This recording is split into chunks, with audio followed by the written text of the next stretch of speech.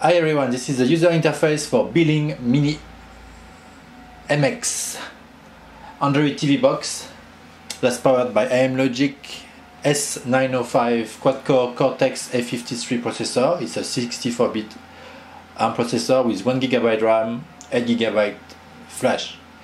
So in this video I'm just going through the user interface. This is the main screen. At the top left you have the icons for storage and network connection. Now I have a SD card connected and I'm connected to the internet via Ethernet. Top right the time. In the middle here you have uh, some folders for applications.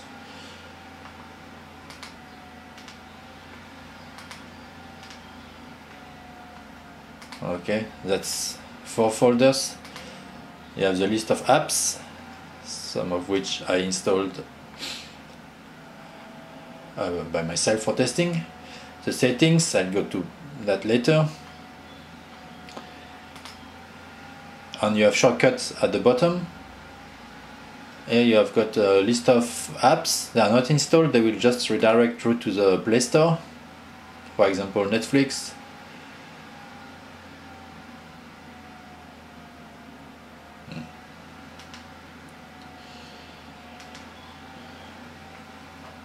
This is Kodi.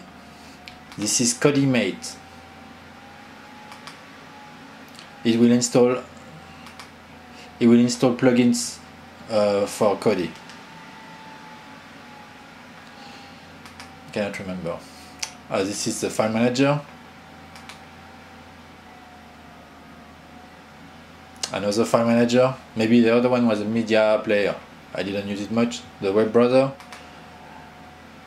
and this one is to add or remove apps. For example you don't want this one. You want to add Amazon. And it's been updated. There is also the status bar. If you don't like it you can hide it.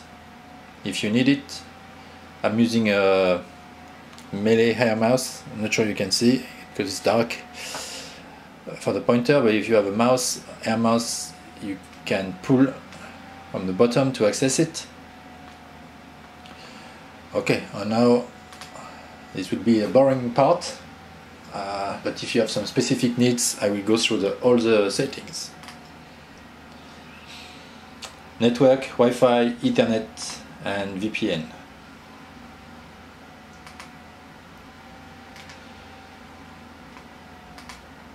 Display. Okay you've got a bunch of resolutions here. Actually I set it to 4K 2K at 60 Hertz but sometimes it will fall back to 1080p 50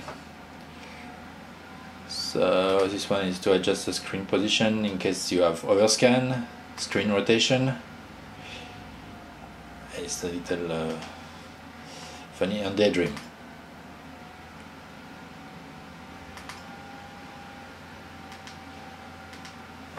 I have not tried Daydream.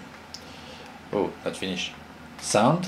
We've got the system sound, on or off, and digital sound for PCM, normal output, stereo output to your TV, HDMI pass-through or SPDIF pass-through apps uh, you can here you can if you are patient you will get a list of downloaded apps system apps and running apps. Oops. Okay that's the list. Storage on reset. So it will show the storage but only the internal storage not external storage or a micro SD card this will show some uh, technical information. I have just done a firmware upgrade to 103L1. Okay, you can set the date and the time.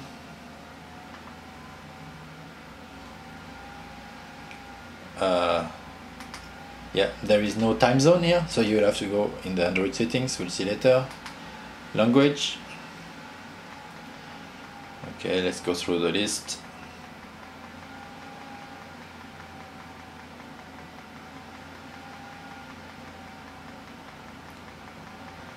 Okay. Oh. now my Korean is the last. Keyboard. You have some options. Okay I will not go through the there is HDMI CEC but it's not working. It will just say this remote device does not support CEC playback settings uh, what does that mean? I don't know. HDMI self adaptation. Or maybe it means uh, automatic frame rate. Accessibility. Captions. Mm, this one is empty text to speech.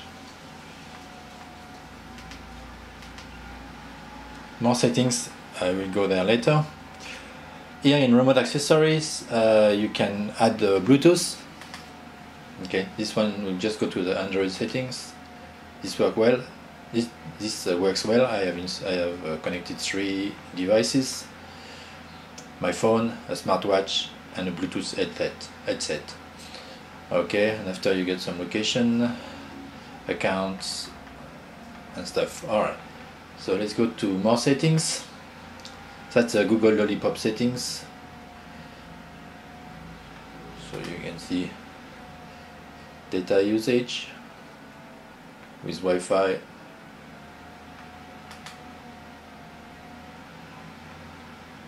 looks like they will not let you use uh, arrow keys to access uh, settings. No, if you go to Ethernet, you will just go back here.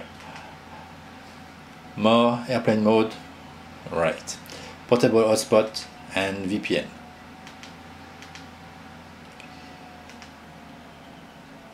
Okay, but uh, most of the most of the useful settings are in the Amlogic settings application as just showed.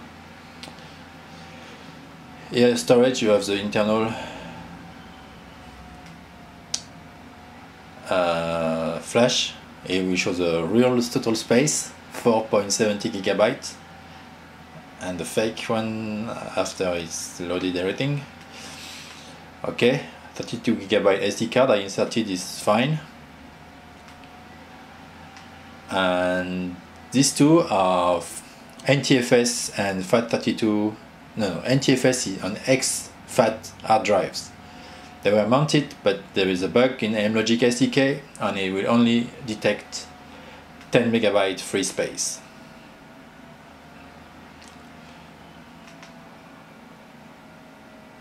Okay, this is standard. Same security, language input, I've already gone through it, date and time, accessibility, it's enabled but I have not tried it, printing and about MediaBox, at the same information as previously. Okay, I go back here and now I press the power button and the box is turned off. Alright, thank you for watching. Bye bye.